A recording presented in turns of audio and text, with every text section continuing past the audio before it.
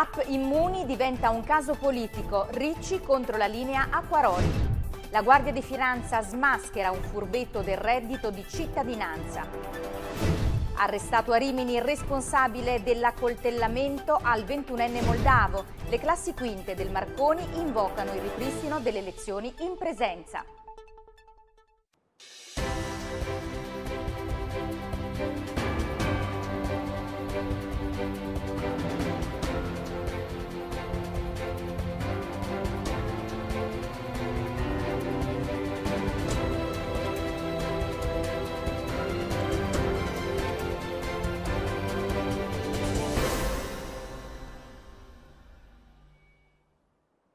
Buona serata, questo è il telegiornale di giovedì 8 ottobre, come sempre le informazioni sul canale 633. Questa sera apriamo parlando delle tematiche relative al coronavirus e in modo particolare dell'applicazione Immuni che rischia di diventare davvero un caso politico. Il neogovernatore Francesco Acquaroli, intervenuto a Rai News 24, ha infatti ammesso di non avere scaricato l'app Immuni, ridimensionandone l'utilità se non la scaricano tutti, ma enfatizzando altre precauzioni quali distanziamento sociale e mascherine. L'app Immuni è stata finora scaricata da quasi 200.000 marchigiani, tra cui il sindaco di Pesaro Matteo Ricci, che oggi, attraverso i suoi canali social, ha pubblicamente dissentito dalle esternazioni di Acquaroli enfatizzando come l'utilità della app vada equiparata per importanza alle altre norme comportamentali di contenimento e ha invitato il nuovo presidente di regione a correggere la comunicazione sollecitando invece i marchigiani a scaricarla come stanno chiedendo le autorità sanitarie. E continuiamo parlando di coronavirus e in questo spazio vediamo la comunicazione dei dati relativi appunto alla pandemia in regione perché dopo il balzo in avanti di 84 nuovi contagi registrati ieri, oggi la curva decresce a 66 nuovi casi positivi, la maggior parte dei quali concentrati nelle province di Fermo e Ascoli Piceno con rispettivamente 24 e 20 nuovi casi di contagi. Ben più contenuta la crescita nella provincia di Pesaro Urbino dove si sono registrati, per fortuna, solo tre casi. Non ha dichiarato 170.000 euro ed era pure riuscito a percepire il reddito di cittadinanza. Nel prossimo servizio vi raccontiamo la vicenda di questo furbetto smascherato dalla Guardia di Finanza di Pesaro. Per due anni ha ricevuto il reddito di cittadinanza senza averne diritto. La compagnia di Pesaro della Guardia di Finanza ha smascherato un furbetto del sussidio residente nel territorio pesarese che nel 2019 e nel 2020 ha indebitamente percepito la formula statale di sostegno destinata alle persone senza lavoro e in reale difficoltà economica.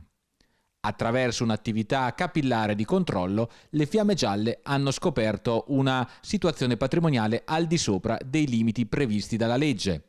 Il soggetto in questione aveva infatti racimolato discrete somme attraverso delle vincite online al gioco, cioè 60.663 euro nel 2019 e 111.136 euro nel 2020 un totale di oltre 170.000 euro che il furbetto ha deliberatamente omesso dal calcolo dell'ISEE durante la dichiarazione sostitutiva unica. Non dichiarando le vincite, il furbetto è dunque riuscito a incassare il reddito di cittadinanza per due anni per un importo complessivo di 12.700 euro. Furbetto che è stato dunque segnalato dalla Guardia di Finanza alla Procura della Repubblica di Pesaro per aver indebitamente percepito erogazioni a danno dello Stato. Contestualmente è stato segnalato anche all'INPS per il blocco dell'erogazione e le procedure per il recupero dell'indebito incassato. E adesso continuiamo con la cronaca perché è stato arrestato il responsabile delle due coltellate che hanno ferito un ventunenne moldavo nel corso di una festa privata avvenuta a Pesaro in strada dei Condotti, non lontano dal quartiere Muraglia. I responsabili dell'aggressione, individuati dalla squadra mobile di Pesaro, sono tre ragazzi di origini campane residenti nel Riminese. Vagliando le testimonianze si è giunti anche all'individuazione eh, di chi ha materialmente mh, affondato la lama nella schiena del giovane moldavo. Si tratta di Luigi De Santis, 18 anni, che è stato arrestato ieri sera dalla squadra mobile di Pesaro nella sua casa di Rimini. Il diciottenne è stato trasferito nel carcere della città romagnola e lunedì si terrà l'interrogatorio di garanzia. E continuiamo perché c'è stato un arresto per droga a Pesaro, un diciannovenne è stato sorpreso dalla polizia in zona Muraglia con ben 44 dosi di hashish per un peso di 25 grammi. Sul ragazzo gravavano già diversi precedenti, tra i quali l'arresto di appena 20 giorni prima per spaccio di 10 grammi di cocaina. Nuovamente arrestato gli è stata inflitta la condanna di 10 mesi di reclusione e 1.400 euro di multa. L'ex questore di Pesaro, Antonio Lauriola, è stato condannato a due anni dal Tribunale di Rimini per tentata induzione e falso mentre è stato prosciolto dall'accusa di peculato. La sentenza conclude una vicenda che risale al 2016, periodo in cui Lauriola fu accusato di aver fatto pressioni per annullare una multa di 3.500 euro al figlio. Le sue frasi furono registrate da un funzionario di polizia, finirono sui tavoli della procura e ora hanno portato alla condanna del Tribunale di Rimini. Ed ora andiamo a parlare di scuola perché si è tenuta proprio questa mattina al Liceo Scientifico Marconi di Pesaro una manifestazione degli studenti di quinta superiore per invocare il ripristino della didattica tradizionale. Eh, anziché metà in presenza e metà a distanza, perlomeno proprio in questo anno fondamentale di crescita e soprattutto di studio. Vediamo il servizio. Ascoltateci, una alternativa esiste, una scritta eloquente, quella su uno striscione affisso qui al liceo scientifico Marconi dagli studenti delle quinte del liceo che sono schierati qui alle mie spalle seduti nel parcheggio per chiedere una cosa, per chiedere di ripristinare la didattica tradizionale almeno per quel che riguarda il quinto anno delle superiori, un quinto anno ritenuto talmente strategico da non potersi permettere l'attuale sistema didattico in tempo di Covid, ovvero quello con metà alunni in presenza e metà alunni a distanza. Dunque si chiede la didattica tradizionale, la si chiede attraverso questa manifestazione che vuole dimostrare anche come sia possibile eh, essere una classe ma eh, farlo nella maniera più corretta in tempo di Covid, ovvero distanziati e tutti con la mascherina. È comprensibile la loro protesta e in parte sono con loro, l'esigenza di fare scuola in presenza è anche la mia esigenza, eh, però il problema è sotto gli occhi di tutti, c'è un aumento del contagio, non mi sembra che sia opportuno in questo momento abbassare la guardia. Si è arrivati a questa giornata con che tipo di confronto tra dirigenza scolastica e studenti? Ma quello semplice, i ragazzi mi avevano manifestato la loro opinione, le loro difficoltà attraverso i rappresentanti d'istituto, io ho risposto loro e loro giustamente hanno pensato di fare questa assemblea per informare anche il resto delle quinte, il resto dei ragazzi delle quinte. Quindi ad oggi le speranze di questo ripristino della didattica tradizionale sono poche? Secondo me sono poche purtroppo, che, i dati che ci stanno arrivando non sono confortanti. Noi abbiamo sperimentato che questo distanziamento sociale che va oltre a quello che, stato, che sono i limiti dettati dai decreti ministeriali eh, di un metro, eh, noi abbiamo dentro le nostre classi una distanza sociale di oltre due metri, ci hanno consentito, consentito ad esempio di non eh, propagare il caso Covid che abbiamo avuto, nel senso noi abbiamo avuto un, un ragazzo di prima positivo che è stato tre giorni in classe con un gruppo ristretto e non ha contagiato tutti gli altri perché tutti gli altri al tampone sono risultati negativi.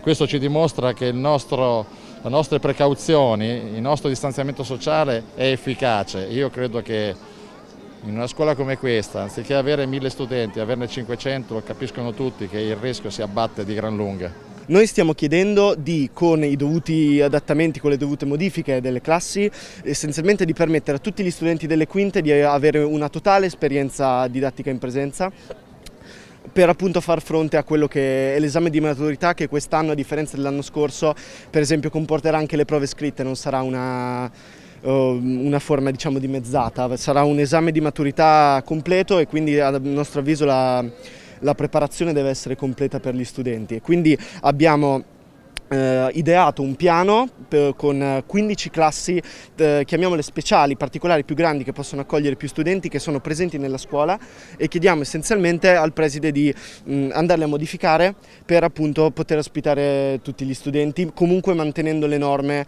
eh, anti-covid come abbiamo fatto nella manifestazione di oggi, sono state rispettate le distanze, tutti gli studenti hanno portato le mascherine.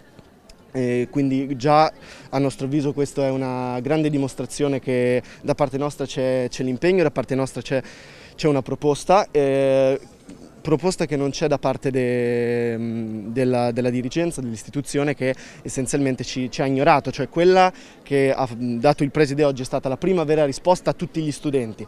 Quello che è stato fatto da parte sua è parlare in privato soltanto con, con alcuni studenti, cosa che a mio avviso non è, non è giusta e c'è, stata la mancanza di un vero e proprio dialogo con tutte le quinte, con tutti gli studenti. Quindi c'è proprio di nuovo la dimostrazione che l'istituzione scolastica è molto lontana dagli studenti sfortunatamente in quest'ultimo periodo. Ed ora ci spostiamo a Fano dove nei giorni scorsi un noto imprenditore ha ricevuto una cartella per il pagamento della Tari di oltre 260 mila euro. Un duro colpo chiaramente per l'azienda come ci racconta Simone Celli in questo prossimo servizio.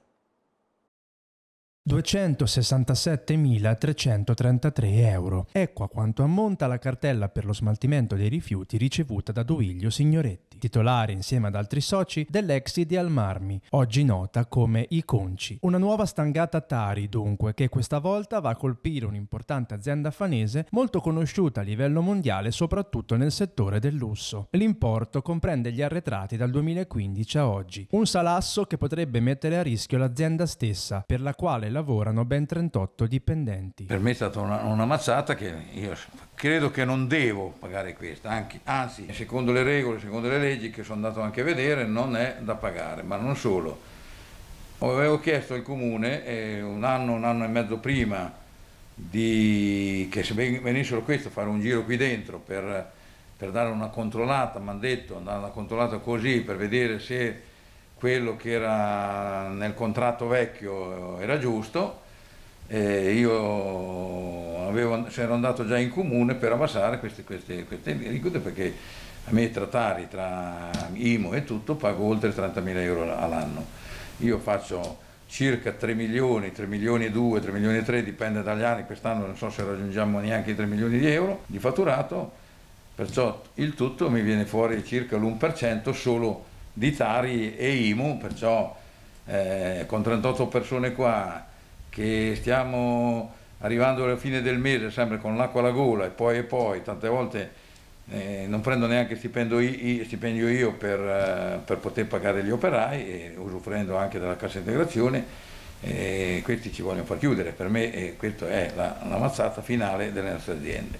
Io non ce la faccio più e ho voglia di, di, di andare in comune e, portargli le chiavi, dico venite a lavorare voi, perché io ho 76 anni, ancora sono qui a girare, l'ho tenuta in piedi forzatamente, combattendo con le banche, perché non so, non fatto di più e, di, e tutti, anche oggi ho bisogno di finanziamenti per poter rimodernare la fabbrica, che si è invecchiata di 10-15 anni, e le banche purtroppo dicono no, non possiamo perché tanti motivi, non lo so, insomma siamo ancora qua.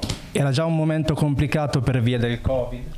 Sì, oh sì il momento complicato è arrivato da, già dal 2008 quando è, quando è arrivata la crisi, che abbiamo avuto un calo del 50% di fatturato in quel, quell'anno lì. Però abbiamo, ce l'abbiamo abbiamo sopportato, siamo riusciti ad arrivare alla fine del, dell'anno scorso con un leggero aumento pensando, dico, ma il, 2000, il 2020 dovremmo andare meglio e invece poi è arrivato, è arrivato il Covid, ci ha dato un'altra mazzata, perciò il fatturato invece di aumentare è diminuito anche quest'anno.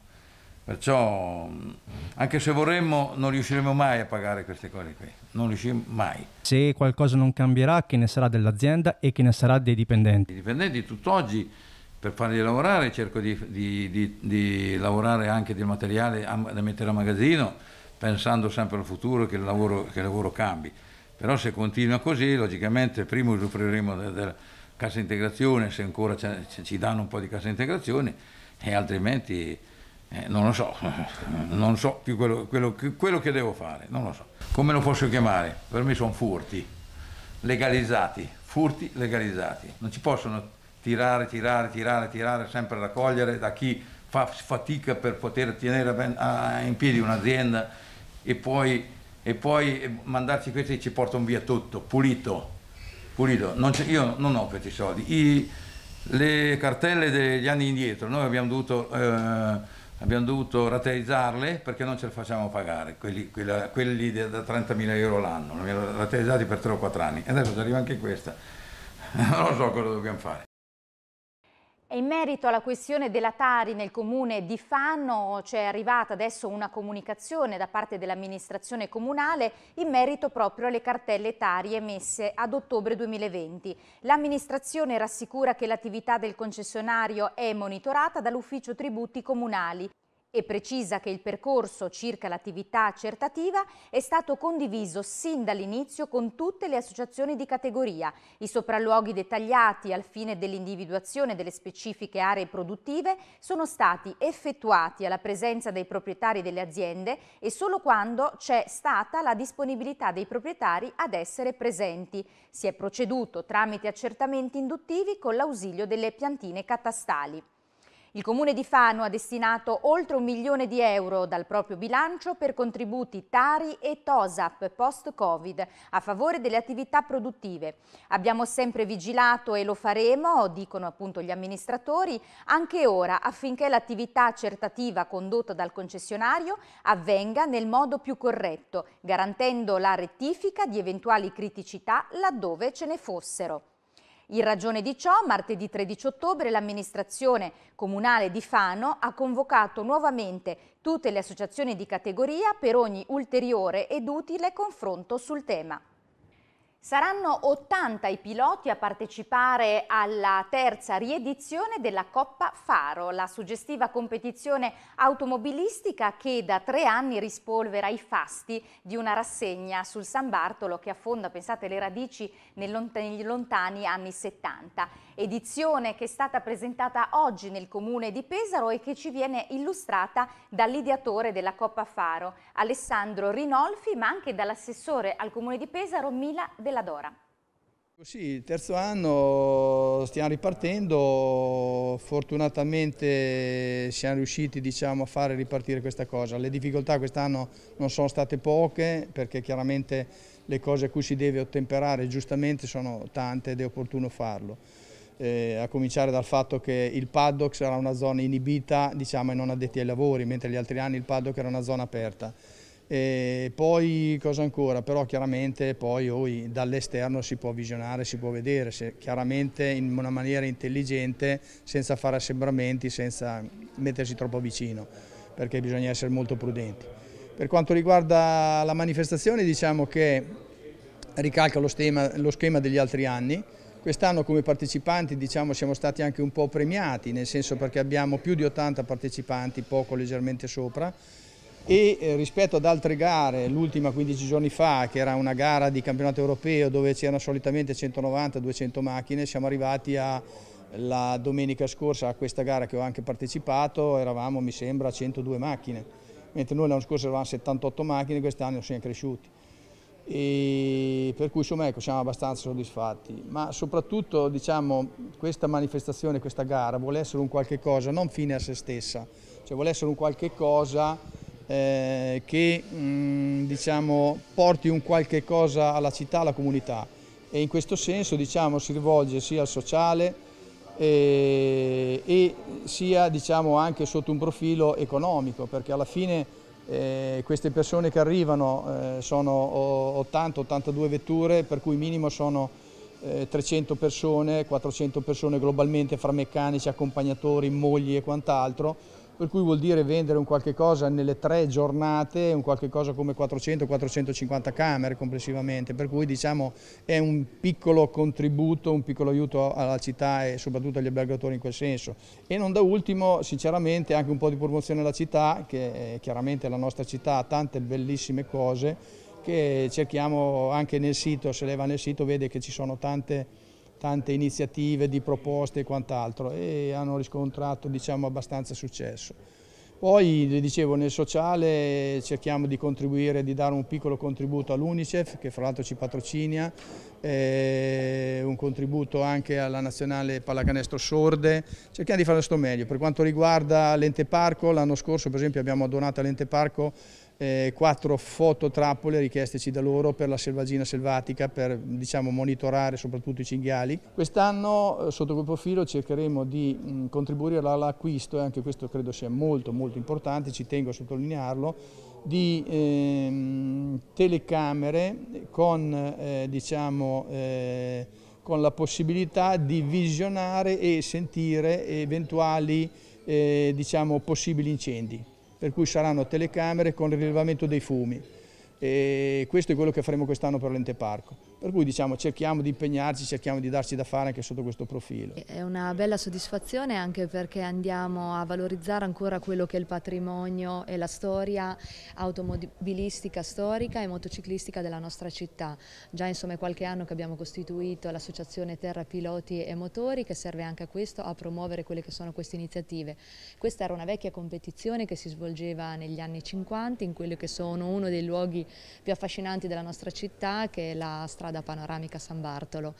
Abbiamo tante persone che si sono già iscritte, circa 80, ma sicuramente la priorità sarà la sicurezza, quindi verrà svolta tutta la manifestazione in sicurezza. Eh, lo sport non si deve fermare, lo sport ha grande, un grande valore sociale, come questa competizione sicuramente serve anche ad attrarre tante persone nella nostra città. In questi anni abbiamo puntato molto su quella che è la vocazione sportiva della nostra città, turistica e quindi ne andiamo orgogliosi. Novità in vista per quanto riguarda la raccolta differenziata nei quartieri di Borgo Santa Maria, Pozzo Alto, Case Bruciate e Tre Ponti. Da lunedì 19 ottobre ci sarà un nuovo servizio che mira a ridurre al minimo la quantità di rifiuti non recuperabili ed aumentare la quota di raccolta differenziata. Per questo motivo i cassetti stradali per l'indifferenziato saranno rimossi e sostituiti con bidoni di piccole dimensioni che saranno consegnati ai cittadini e raccolti direttamente presso il domicilio degli utenti, una volta la settimana nei giorni che saranno indicati in un apposito calendario.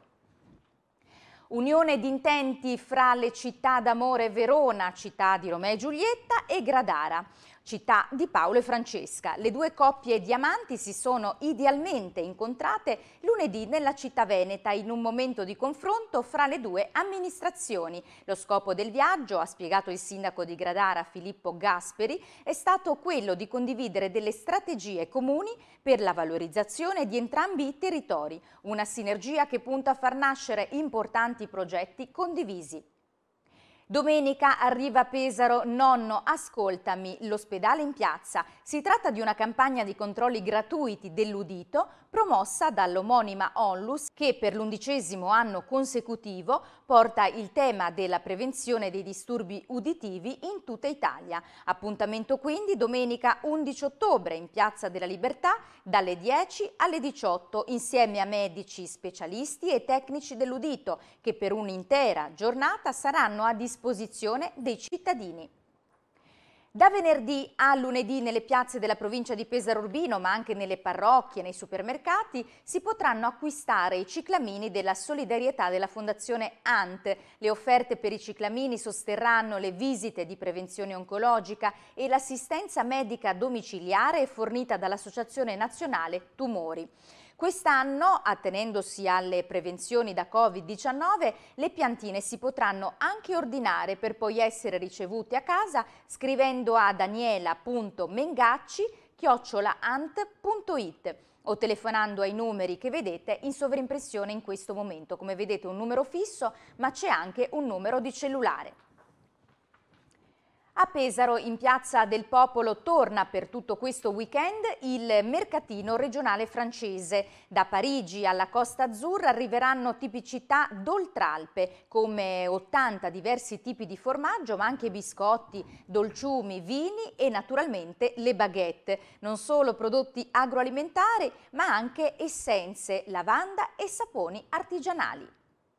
E a Senigallia da domani, venerdì 9 ottobre, fino a domenica 11 ottobre, il foro annonario ospiterà l'undicesima edizione di Sapori d'autunno. Si tratta del mercatino autunnale dedicato ai prodotti tipici marchigiani. All'interno dell'ex pescheria troveranno spazio 12 banchi di tipicità del territorio, mentre esternamente l'area sarà dedicata a prodotti agroalimentari nazionali, artigianato e anche erboristerie.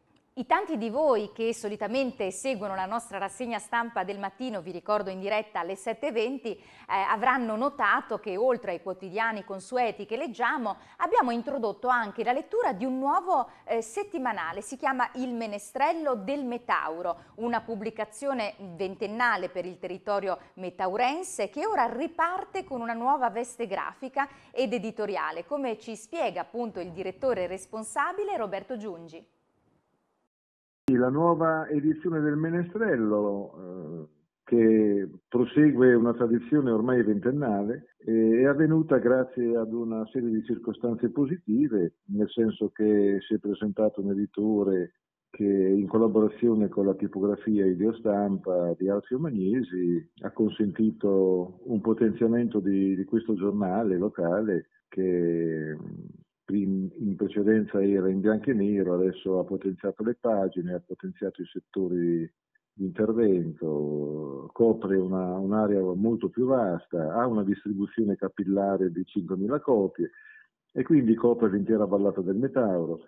Ah, è assurto ad un ruolo che noi riteniamo abbastanza importante perché, come ribadisco, dopo vent'anni o si moriva in quanto la tipografia che lo editava in precedenza ha chiuso oppure eh, riprendeva sotto nuova veste e questo è stato un piccolo grande miracolo che si è verificato. Il 73 Festival d'Arte Drammatica entra nel vivo alzando il sipario sulle otto compagnie in corso al GAD, sul premio Conti e anche sul libro di Claudio Sora, presentato ieri presso il Comune di Pesaro. Cari pagliacci del Teatro Accademia di Pesaro e il malato immaginario della filodrammatica di Gardolo hanno già aperto la rassegna GAD Festival Ragazzi. Ora si alza anche il sipario del Teatro Rossini sul 73 Festival Nazionale d'Arte Drammatica, pronto a partire con gli otto spettacoli di altrettante compagnie in concorso. Si comincia il 15 ottobre con il Tavolo Verde di Nadia Bruno in una rassegna non stop fino al 24 ottobre. Una full immersion impreziosita dalla terza edizione del premio drammaturgico Antonio Conti dedicato alla scrittura teatrale.